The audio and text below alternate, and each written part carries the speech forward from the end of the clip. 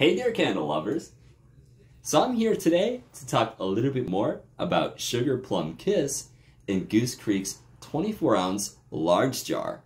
Now this candle is discontinued and is no longer available on the Goose Creek website. So with that said, if you're looking for this one, you might have to go to Mercari or eBay, which are two great places to go to look for those rare and discontinued Goose Creek scents.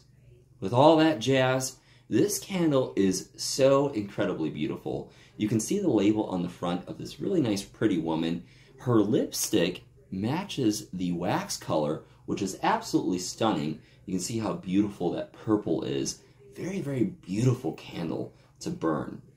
Now let's talk a little bit more about Sugar Plum Kiss and its scent. On cold, I do get plum.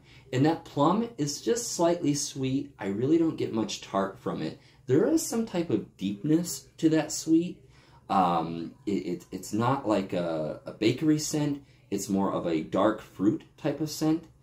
Now, upon burn, that dark fruit scent really comes out on top. That plum really hits hard. It is reminiscent of another candle that I had called Cashmere Plum by Chesapeake Bay. I also had my own candle business as well. So I did make a frosted plum candle and it smelled exactly the same. So with that said, I really wasn't taken far back by this candle because I have smelt this scent before.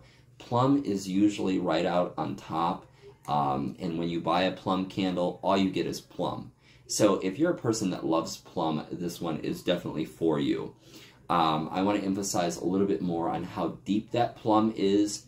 It's, it's definitely there.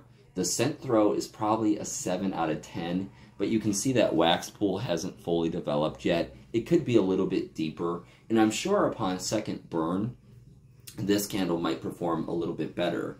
With that said, once more, if you are a person that loves just plum, a sweet tart plum smell, this candle is definitely for you. It's one to check out, and it's one that I will always have in my collection because it's just absolutely stunning to burn, and the scent is very pleasant. It's very fresh and it's very pleasant.